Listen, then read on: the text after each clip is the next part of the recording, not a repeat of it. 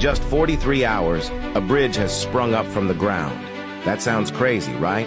How did China manage to construct a 1,300-ton bridge in such a short time? Typically, building a bridge takes years or even longer, but China pulled off this engineering marvel in just 43 hours. The bridge was originally constructed in the 1990s using on-site casting methods. Due to the bridge's relatively old construction period and intense usage, its lifespan had been exhausted. Consequently, the local government decided to reconstruct the bridge. This bridge, located in the heart of Beijing, known as San Yuan Bridge, is one of the capital's major traffic arteries.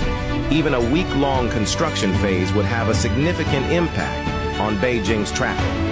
To minimize the impact on traffic, the plan was to completely disconnect the original bridge deck, transport it directly using trucks, and then replace it on site with a new bridge. Although this method may seem straightforward, the actual execution posed a challenging task.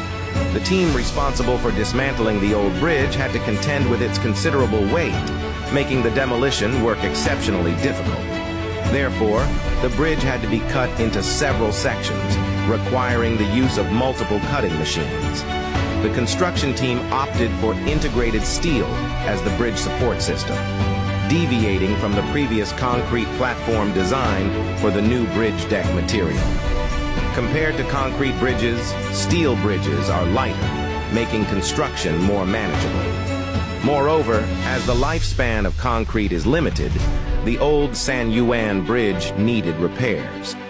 On the other hand, steel bridges have a longer lifespan, eliminating the hassle of future replacements.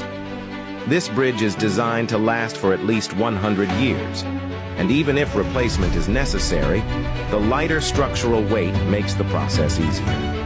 Finally, the new bridge measures 55.4 meters in length and 44.8 meters in width. This bridge is a crucial intersection in the northeast part of Beijing's Third Ring Road, connecting the Airport Expressway and the country's major thoroughfares.